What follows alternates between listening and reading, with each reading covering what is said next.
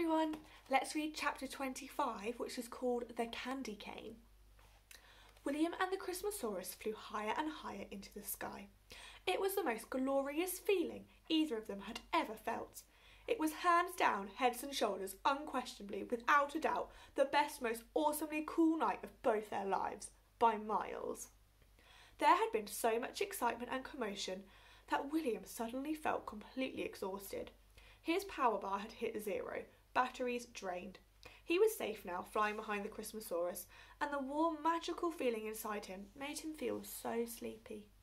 Before he knew it, he was snoring away happily, 20,000 feet in the air, while the Christmasaurus flew on into the night. William woke up suddenly as a blast of bright light exploded out of nowhere. How long had he been asleep? It had only felt like minutes. He looked over the side of his wheelchair and saw that they were no longer flying over the streets and houses of Williamstown at the edge of the city.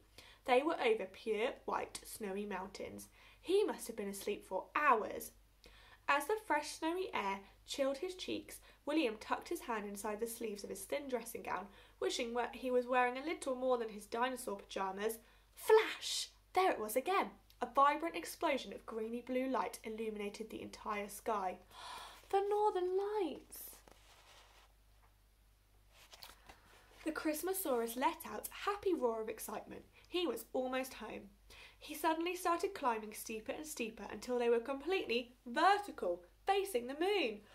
What are you doing? cried William, clinging on for dear life as the Christmasaurus kept flying up and up and up. Luckily, William had had that seatbelt installed in his chair. He quickly tightened the buckle just in time as the Christmasaurus flew an enormous loop the loop, dancing through the northern lights. As scared as William was, he couldn't help but give in to temptation, and whilst he was upside down, he reached out his hand and dipped it into the wonderful dancing colours in the sky. William's dinosaur pilot performed some more daring acrobatics, loop, loopy twists and twisty loops, and when they were finally back up the right way, William was a little sick over the side of his chair. Unbeknown to him, it landed on the roof of an elf's house. The Christmasaurus made a little scoffing sound. It's not funny, William said, nearly throwing up again as the Christmasaurus started descending on the gigantic mountains below. He weaved gracefully in and out of the cracks of the cliffs until the mountains cleared in front of them, and all William could see was an infinite sea of pure white snow. The Christmasaurus landed with a little bump, which for his first landing wasn't a bad effort. Years of watching the reindeer had definitely paid off. They came to a sudden stop in the middle of the stark white nothing. William looked around him and saw absolutely zilch. He did a 360 degree scan and confirmed that they had flown all the way to nowhere. But for some strange reason, the Christmasaurus looked wonderfully happy. He was jumping up and down, wagging his tail like a puppy, letting out all sorts of strange roars that William hadn't heard before. He certainly didn't seem to be lost. In fact, the Christmasaurus seemed to be exactly where he wanted to be.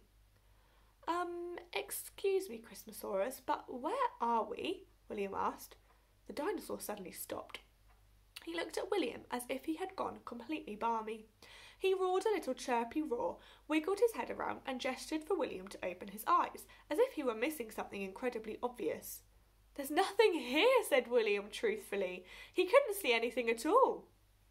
The Christmasaurus shook his head with utter bewilderment, as though William had said something absolutely potty.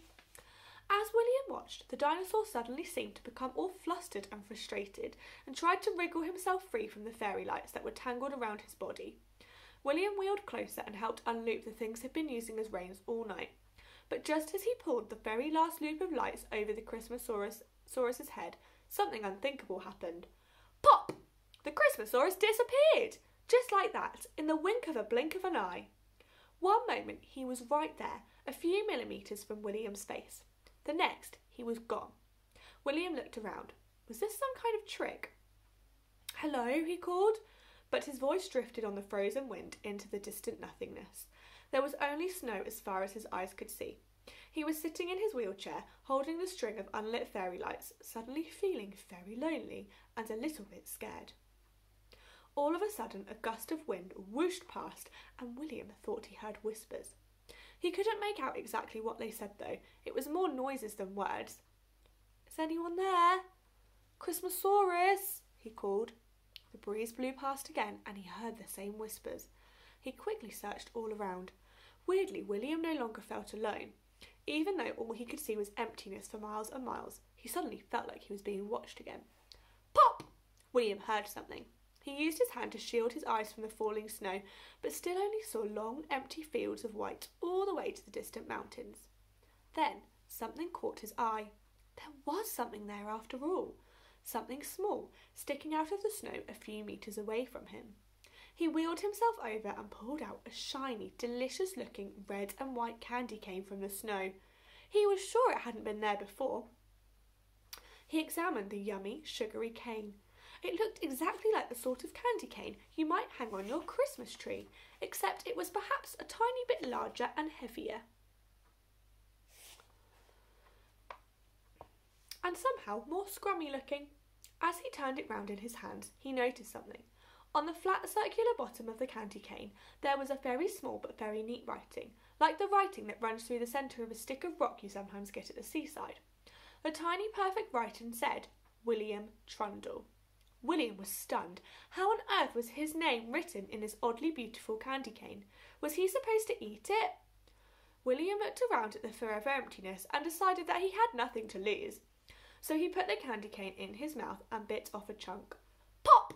As he bit down, the most spectacularly magical thing happened. He didn't disappear like the Christmasaurus had. Quite the opposite, in fact. Everything else appeared. And by everything, I mean everything. Suddenly, William was sitting at the entrance of an enormous wooden building. It was the North Pole Snow Ranch. He couldn't believe how grand it was. Its impressiveness reminded him of the museum. As he marvelled at the twisty turrets, the puffing chimneys, the toboggan run path, and the snowflake door knocker, his mouth dropped open with wonder. It was just like his dad's stories. Then he noticed the animals, except they weren't animals, they were more like creatures magical creatures. There were small ones with wings whizzing overhead, trailing silvery dust behind them.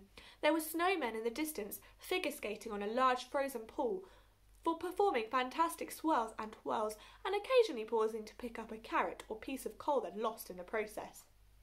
Most of all, he noticed the small, jittery little creatures that were now surrounding his wheelchair, as the Christmasaurus happily greeted them with sloppy licks and tail swishes. Even though William had never seen one before, he knew at once what these small creatures were elves. Hello, elves, he said.